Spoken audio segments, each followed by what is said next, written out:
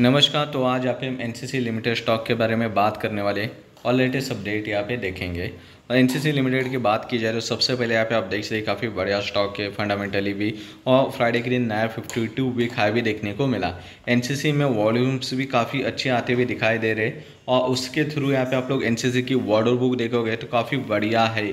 Market cap से कई ज़्यादा बढ़िया मार्क यहाँ पे देख सकते कि एनसीसी की वार्डर बुक है। न्यूज़ की बात करी जाए तो रिसेंटली यहाँ पे ऑर्डर भी काफ़ी अच्छे ऑर्डर्स मिलते हुए नज़र आ रहे हैं एनसीसी के। और एनसीसी इंडिया ने फ्राइडे के दिन सिक्स टू सेवन परसेंटेज की तेज़ी भी दिखाई थी। और इम्पोर्टेंटली 260 लेवल जो एक रेजिस्टेंस लेवल बन के खड़ी थी, वो लेवल को स्टॉक ने ब्रेकआउट किया है। अभी भी यहाँ पे आप देख सकते हैं कि 260 के ऊपर स्टॉक सस्टेन होता है तो और ऊपर की तरफ़ एक अच्छी मूव बन सकती है। वॉल्यूम्स भी देखोगे, काफ़ी बेहतरीन वॉल्यूम्स आते हुए दिखाई दे रहे हैं एनसीसी के अंदर।